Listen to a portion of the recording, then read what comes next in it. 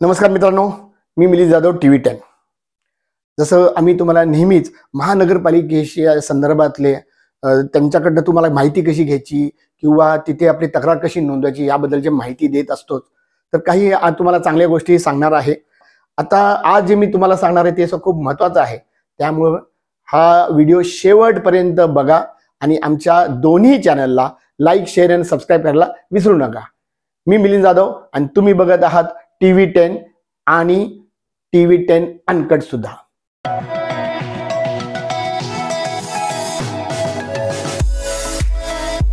तर मित्रांनो मी आज तुम्हाला सांगितलं की एक आणखीन एक तुम्हाला टिप देणार आहे मी जेणे जेणे तुम्हाला महानगरपालिकेची आणखीन जास्त ओळख होऊ शकेल आणि तुमच्या तक्रारी सॉल्व्ह व्हायला तुम्हाला मदत होऊ शकेल. आणि त्यामध्ये सुद्धा तुम्हाला कुणाची गरज लागणार नाही. जसे आर टी आय अधिकारी असतात नगरसेवक असतात किंवा महानगरपालिकेतले अधिकारी सुद्धा असतात. यापेक्षा तुम्ही स्वतः स्वतः तुम्हाला मदत करू शकता.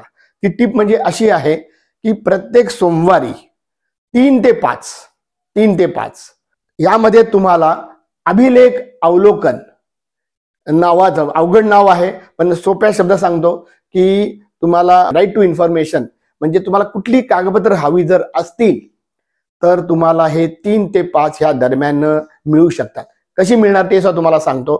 कुठलाही टेबल असेल फॉर एक्झाम्पल आपण जर उदाहरण घेतलं की अतिक्रमणचा विभाग असेल किंवा बांधकाम परमिशनचा विभाग असेल तर बांधकाम परमिशनचे सगळे विभाग जे आहेत ते त्या विभागामध्ये तुम्ही जाऊ शकता.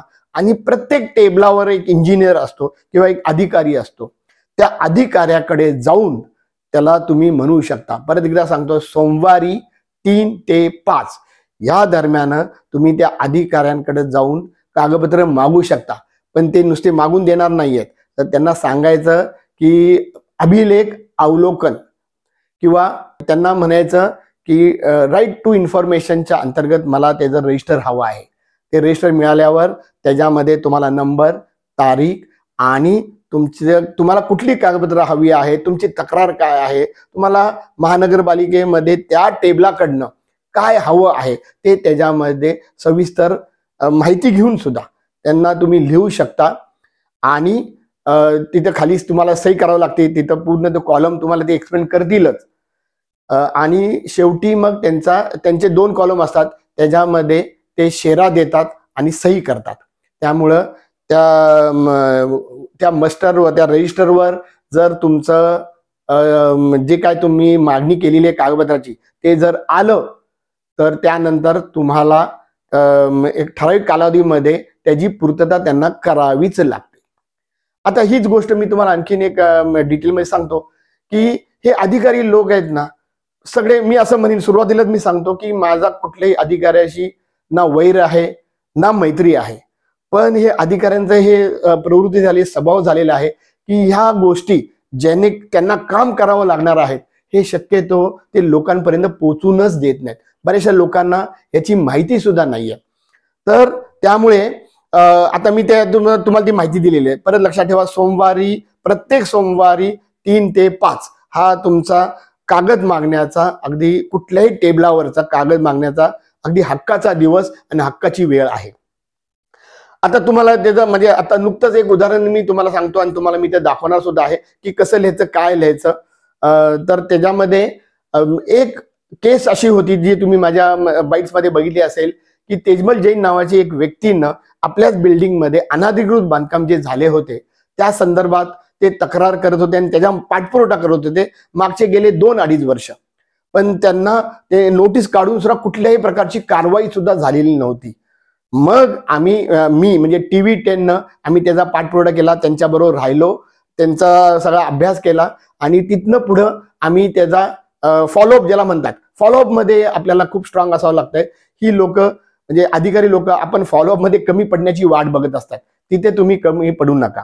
तर फॉलोअप मधला हा जो भाग आहे की ते अभिलेख अवलोकन याच्यामध्ये जर तुम्ही ते तक्रार नोंदवली तर त्याच्यामध्ये मी आत्ताच तक्रार नोंदवलेली ह्या सोमवारीच.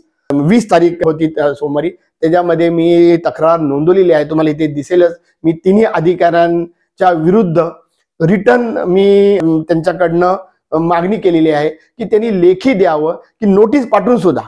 त्या तिन्ही अधिकाऱ्यांनी नोटिसा पाठवलेल्या आहेत.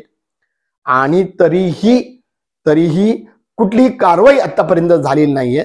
माझ्या मते त्या नोटिसा पाठवून एक महिना दीड महिना दोन महिना झाला असेल त्या नोटिसांवर स्वतःच त्यांनी एक आठवडा किंवा पंधरा दिवस अशी तारखा सांगितलेल्या आहेत. असं करून जर ते कारवाई करत नसतील तर हे अतिक्रमण करणारे ते आणखीन त्यांचे वाढ होत जाते आणि मग हे अतिक्रमणचं पीक वाढत जातं. आता बघणार आहोत आपण की त्या मस्टरवर त्या रजिस्टरवर आरटीआयच्या ह्याच्यामध्ये जर एकदा नोंद केल्यानंतर ते कशी आणि कधी कारवाई करतात. त्यांना विचारलं असतात त्यांनी कारणही काही सांगतात ते की आम्ही पोलीस म्हणजे आम्हाला पोलिसांची मदत लागते जे अतिक्रमण जे अगदी मान्य आहे. तर पोलीस आम्हाला मिळत नाही आहेत वगैरे वगैरे. तर ते सुद्धा तुम्हाला इथं पत्र मी त्यांनी जे दिलं तुम्हाला बघा त्याची कारण बघा ते कधीचं पत्र आहे त्याच्या तारखा बघा. आणि ही कारण काही कामाची नसतात अर्थ नाही. ते फक्त वाट बघत असतात की आपण कधी कंटाळतोय आणि तो विषय सोडतोय. तर त्यामुळं हे मी जे म्हणलं ते फार महत्वाचं आहे. सोमवारी तीन ते पाच तुम्ही जर एकदा तिथं नोंद केली आणि हा ते जे नोंद कराल ते लिहाल त्याचा फोटो काढायला विसरू नका ती तारीखही लक्षात ठेवा. म्हणजे त्या तारखेचा परत प्रत्येक सोमवारी पाठपुरवठा करता येतो आणि प्रत्येक सोमवारी तुम्हाला परत लिहिता येऊ शकतं. त्याचा म्हणजे पाठपुरवठा is very important follow up is very important आणि तो टी व्ही टेनची एक सगळ्यात चांगली शक्ती आहे. परत एकदा मी सांगतो की त्या तिन्ही अधिकारी माझ्याशी खूप चांगला संबंध आहे त्यांचा. पण नुसतं चांगला संबंध नाहीत आम्हाला काम करून हवी आहेत तर आता आपण त्याचंही बघणार आहोत. मी मुद्दाम त्यांची नावं आता जाहीर करत नाही. ते त्यांनी आता आश्वासन दिलेलं आहे की पुढच्या आठवड्यापर्यंत जास्तीत जास्त शक्यतो ते कारवाई बुधवारी करतात. तर पुढच्या बुधवारपर्यंत त्या गोष्टीवर कारवाई झाली असेल आणि त्याचे बाईट मी तुमच्यापर्यंत पोहोचवणार आहे. मी मिलिंद जाधव आणि तुम्ही बघत आहात टी व्ही टेन. मित्रांनो आमचा हा व्हिडिओ शेवटपर्यंत बघितल्याबद्दल धन्यवाद.